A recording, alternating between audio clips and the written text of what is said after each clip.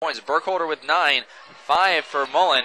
Scoring for the Quakers. Adams with three, Gibbs with two. Adams with another three-point attempt. It's good. And now Adams has six. Trying to side of the goal.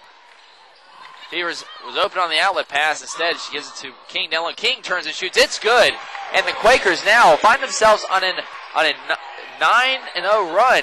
Definitely uh, looking pretty bad for the Quakers right now. As King sends a pass down low. And it gets over to Atwater. Atwater puts up the layup, bounce off the back iron twice.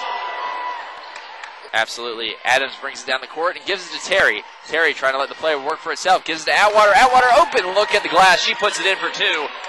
Quaker showing some signs of life now. Adams dribbles into the zone, gives it to Barker. Barker back to Adams. Adams popping the three. It is good. It hits the rim, the glass, and then the net. And that will dig into that lead, making it a 26 point game. Adams with the board.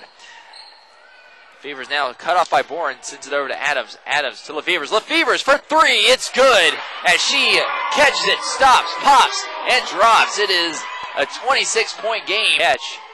Terry will dribble past. Sends it to Oglesby wide open underneath the glass. She finishes the layup. She now has eight on the night. On the mic for you tonight. Calling the action from Ragan Brown Fieldhouse as Morgan King intercepts the pass. Two on two break for the Quakers. She drives into the zone, puts up a strong layup over Emily Lambert and she will drain the two. But here come the Eagles.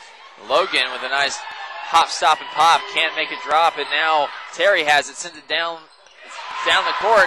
She pops one from about the free throw lane, and it is good. Keep the ship afloat.